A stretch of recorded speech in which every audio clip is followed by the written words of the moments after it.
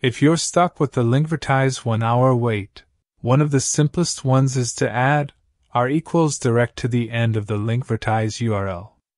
Just change it. Then hit enter. A lot of the time, this will skip you right to the final destination. Another easy fix is to open the link in incognito or private mode.